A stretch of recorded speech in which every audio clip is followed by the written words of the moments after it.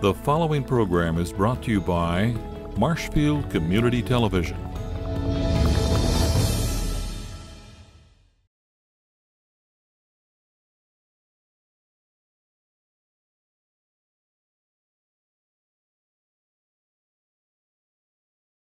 This program is going to be focusing on the sawmill history of Wisconsin. It's a database of Wisconsin historic sawmills produced by my very good friend Frank Hitz. We'll talk about him a little bit. He asked me, because he's got some vocal issues, he asked me to carry on an overview of where we've come from and where we're at, and all the mistakes I make and all the things I forget to enter, he'll take care of in the uh, question and answers later. Um, he is the star of this. I'm simply an intermediary here today. And uh, I'm really pleased to present this because I think that Frank has produced a unique, comprehensive, indeed a seminal database on the historic sawmills of Wisconsin as we produce, as we go through this, I think you probably will agree. Now, the first thing we need to point to, just to get your attention, I am up here, folks, uh, is Wisconsin's historic sawmills. Frank Hitz, Loveland, Colorado. And one of the first things when I met Frank at one of these meetings was, is why somebody from Colorado the expert on these things? Well, uh, that was the first thing, but after I get to know Frank a little bit, uh, he has roots in Wisconsin, as some of you know. He spent his youth here, um, which brings him to Wisconsin.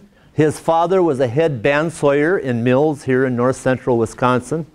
But more important to influence Frank in why he had this subliminal desire to study Wisconsin sawmills was his grandfather. In his youth, he got to spend a lot of time with his grandfather at his house, coming up north for vacations. His grandfather was retired to semi-retired, and his grandfather had been a head sawyer in mills from Wausau to Crandon, Elton, uh, Deerbrook, many places. And so Frank got imbued with the love and the legends and lore of the sawmill industry. Uh, so he had the desire. A desire doesn't come out with a great product. You've got to be qualified to do it. And I think Frank is uniquely qualified. If we look at it by personality, he's thorough, meticulous. By his education, Frank went through the normal public school education, went in the military, he came out and went through Baylor University, math, uh, uh, majoring in mathematics, tilted toward engineering. Hmm. He got out of school and he spent an entire career, entire career in the aerospace industry. He did such unique things, folks, as doing the calibration on the gun cameras for F-86 fighters. Uh, a lot of work with B-52s, he was the one who worked on the tele telemetry systems for the Peacekeeper missile. So if you pee him off, he's likely to send a missile toward you. anyway, all of these things, all of these things combine to, for a diligent, meticulous, accurate person. He is one who can study and, and, take the and have the patience to do a super good job. now we've got the academic out of the way. We should have just a bit of a taste of real sawmills here. We'll see what real one later. This is a, uh, a photo of the mill just up the road at Deer Brook. And why I love this one is I, I have learned to respect Frank a lot, if you understand that, is that he has his own note on it to me about the Deerbrook Mill in 1925. Uh, his dad did work there, but it is a, a, a small to medium sized sawmill, and that's included in his database of Wisconsin sawmills. Then you have the mega mill. This is a mill, uh, I believe that's the mill at Menomonie, Wisconsin that we may see in two years. Hint, hint, hint, come on to Menomonie. We're going to have a, uh, a good time. Anyway, this is the gamut from the small to the large I don't think Frank has made any attempt to capture the portable mills that moved around so often you couldn't hardly tell which farm they were on. Out of all this work and all his diligence, Frank has come up with 2,754 mills operating in Wisconsin. That's a lot of mills, folks.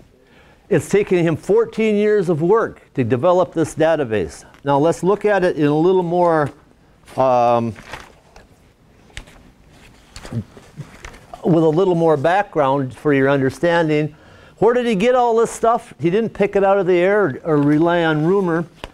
Here is a montage of various publications of the lumber industry. I apologize it comes through a little bit on the street side, but in the pinery days, there were many lumbering publications, Lumber Work, Lumber Review, Lumber Trade Journal, uh, Timberman, Lumberman, Lumberman. They, it was common to have these. I was kind of surprised at the number that Frank came up with, uh, but these are data sources. Oh, and they published a lot of information about the sawmills. However, one that he relied on quite, quite heavily is the very famous Northwest Lumberman. Uh, this is a 19, 1893 public, uh, their centennial. Uh, this is their 20th uh, anniversary uh, edition. The Northwest Lumberman and several others periodically would publish lists of all known operating mills in Wisconsin or in, in multiple states. And across, they'd have the mill uh, name, and then across, they would have the various species of wood they cut and the products they produced and how much of it. But this stuff is all on microfilm now. And if you've even spent an hour studying microfilm of old publications, you have a great deal of empathy for all the hours of work that Frank went through to develop the data that he has on these sawmills. yes, and, and, Frank, what another step is all this information would be fa fairly useless to us. But being the data oriented person, he took it to the next step. He designed a form to record the information for each individual mill. And I won't go through all of it here today. Uh, we will have a few copies if you're really interested. But it lists the county, the watershed, uh, what was uh, what it was what was being cut, the years of operation, and a host of data. I think there's 26 data entries off each of these sheets, plus the fact that you know it's in Wisconsin, so it's item 27. Yes, and he also included references to where he got the information. He's got it right down to primary source information. It's beautiful. it's a massive database with 2,754 mills. If you published all the mills, you'd have 2,754 page book. That's a bit much. So he's trying to wrestle it down so that it can be in a manner that uh, you and other people can get it in because you had the 2,754 mills on this side of the page, and across the top you have 26 characters for each mill. The amount of data there uh, defies the imagination, so he needed to break it into pieces.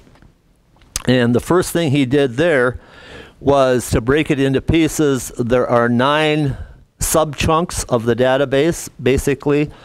Um, and he, he, followed tradition. Uh, these are uh, aligned on what the public thinks of as watersheds. I call them log sheds because of the way the logs were driven to market. Um, the Superior, St. Croix, Chippewa, uh, Black River, Wisconsin, um, Wolf, Green Bay, the Lake Michigan southern region, and then there's a couple of spots here for the uh, Mississippi. So it's broken into subcategories.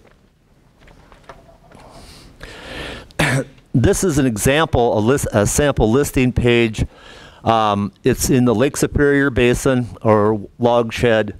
The mills, and this is not all of the mills in that basin, it was just as simply an example the years of operation, the river or that it was on, the county, the town, and then a mill identifier number. actually, this is, was, was one of the uh, most uh, prolific sawmill areas because uh, this area is small and most of the sawmills were on the coast. And uh, for instance, there were uh, 222 sawmills just in this area, uh, small, small area. Yeah, geographically small, but quite actually surprisingly important. So this is broken down by each one of those watersheds or log sheds that we showed you before. Now comes the harder part because in contrast to other presentations, we're now going to ask you to do something. We're not just going to hand you something. We're hopeful that from the group we can get some volunteers to take Frank's database to a higher level of perfection. Frank really likes perfection. so what we're going to do is ask for some help by to review the database uh, by the watershed, and then we're going to ask for some help to identify mystery mills. And so we'll ask for some ha uh, hands on that or some communication in a bit. Uh, first, we'll deal with what we call a beta test. In, in search of perfection, Frank would like some help uh, people to review the sawmills in each of the riverways or each of those nine groups. I don't think there are too many mills that could have been missed, but if someone knows of a mill and can produce really solid uh, documentation of it, uh, virtually primary source, then we can uh, perfect it before we worry about publication or putting it on the web. We want to get the database down. Then there's a sheet, and we're going to hand out, uh, particularly this sheet, the mystery mills of Wisconsin. Um, after all he found with 2,754 mills, there came up 13 mills in Wisconsin that he has had some fragments of information about but not enough to include them in the database, nor to just throw them out the window and say they didn't exist. So we've got sheets, uh, a, a, few, I think I've got 20 um, copies of the mystery mills. We're asking anybody in the group, or if you know people outside the group, who can give us information to either uh, validate these mills and then substantiate them with the information for the database, uh, or if you know that it, it's simply a rumor that would be helpful also. So we're going to be asking for two bits, some people to do a beta test or review on each of the watersheds, and then uh, we're asking for your help for the mystery mills. I'd say thank you for your attention. I know it's almost lunchtime and you're weary, but we're going to ask for some Frank to clarify anything that I confused or add what I didn't, what I uh, what I should have said and didn't. Hey, here you go, Frank. Well, what, what I also wanted to mention um,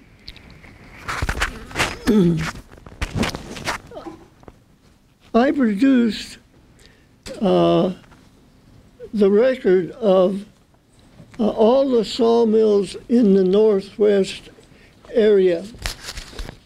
Uh, and I divided them into categories Lake Superior, St. Croix, Chippewa River, and two divisions of the Mississippi because some of them drained uh, in the north region and the, the, some of them drained to the Mississippi in the southern region. Uh, but uh, this is an uh, example of the of the mills that I got dedicated to the Chippewa River, and there is 520 mills. and what I wa wanted to uh, display that uh,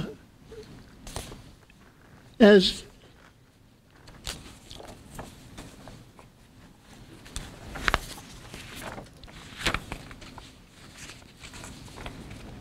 as Ed was talking, he referred to a piece of paper that had a listing of mills.